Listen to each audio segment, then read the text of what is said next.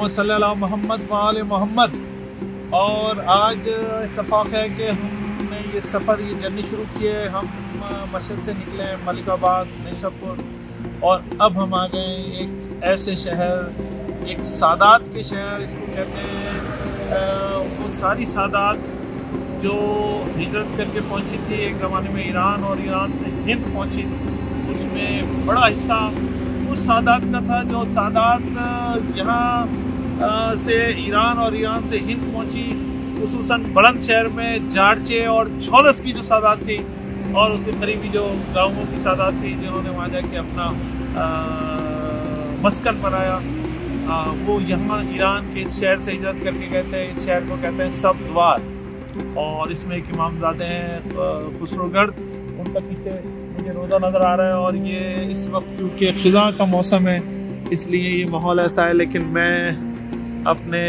जद के शहर सवलवार आ गया हूँ और इस वक्त सवलवार में ख़ज़ा का मौसम है। ये एक छोटा शहर है जिसके चारों तरफ़ मुझे जो है वो पहाड़ियाँ नज़र आ रही हैं। और हम बाई रोड की जर्नी करते हुए शहर सलवार तक आ गए हैं। और आ, वो सारी सादात जो छोलस और झारछे और उसके करीब करीब पहुँची, उनका ये आबाई ज़मीन है जो सादात,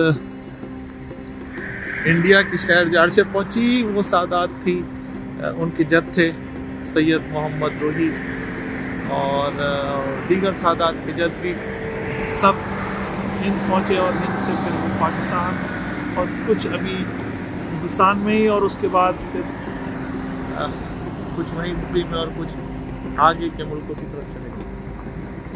हम खड़े हैं। खसूस मैं खड़ा हूँ अपने इस खूबसूरत से आबाई शहर सौदवार में। और यहाँ पे इमामजादे हैं खुसरो जर्द और बहुत ही खूबसूरत मौसम है और सुबह के नौ बज रहे हैं। और ठंडी आबो हवा ठंडा ठंडा सा मौसम।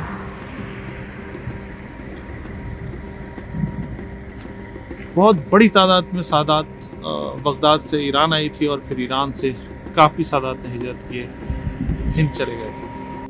अल्लाह महमद वाल मोहम्मद और इस मकाम पे जो मैं खड़ा हूँ, ये है कोई सब्जवार का एक कब्रस्तान और इस वक्त इस छोटे से शहर में हम यहाँ पे खड़े हैं। सारी मसादात जो मैंने आपसे अर्ज़ की कि जो बुलंद शहर गई खसूसन चारचा और चौलस, उनकी जद इसी मकाम से गए, इसी गाँव से गए, इसी शहर से गए, इसी कस्बे से गए। हम इधर एक कब्रिस्तान में खड़े हैं और बिल्कुल इस कब्रिस्तान में एक कदीम कब्र नज़र आ रही है जो अरब में का। और फस्त गर्द इनका नाम है, इनके बिल्कुल रोज़े के साथ ही कब्रिस्तान है। तो मैं खड़ा होकर उन सब आबा अजदाद के लिए, सादात के आबा अजदाद जहाँ से गुजरे। उन सब की मफरत की दुआ कर रहा हूँ। और सब सादात की तरफ़ से इस मकाम पर खड़े होकर हम इंशाल्लाह सूर्य फातिहा पढ़ेंगे और उन तमाम को बख्शेंगे जिनके आबा अजदाद यहाँ पे मौजूद हैं। अल्लाम वरहमल वर्का